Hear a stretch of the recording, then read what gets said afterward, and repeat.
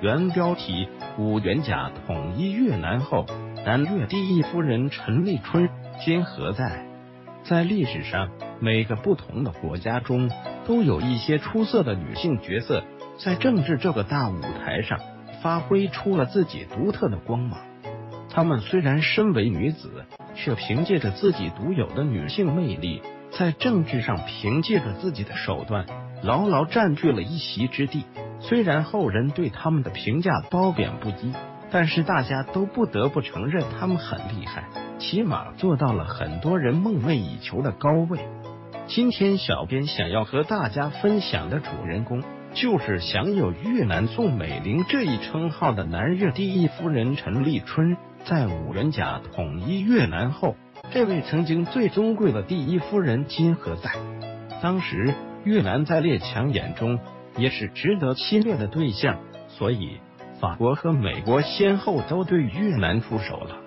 在这种氛围下，越南也分裂成了两个不同的南北阵营。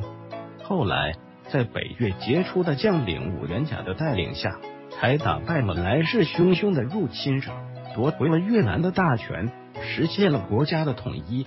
那么，当时南越政治上的主要女性人物陈丽春的结局？又是怎么样的呢？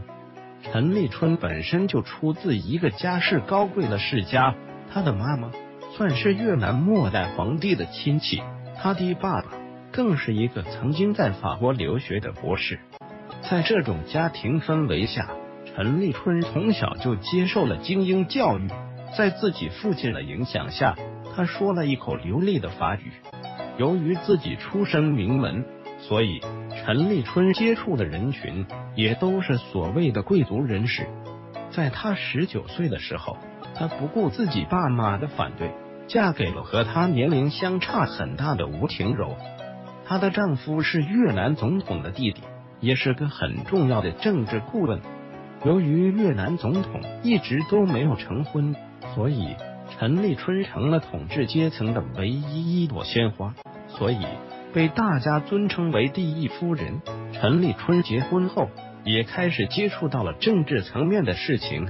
她扛起了自己身上的担子，为越南女性的权利发声，受到了越南民众不少好评。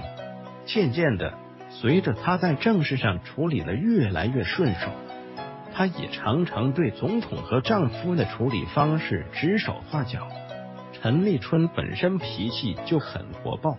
在政事上，她常常不留任何情面，直接对总统和自己丈夫吼来吼去，甚至语言上也时常带着轻蔑的情绪。两个大男人，那他没办法，只能被迫接受他的建议。后来，由于陈立春对佛教的极度蔑视，引来了民众很大的不满和责骂。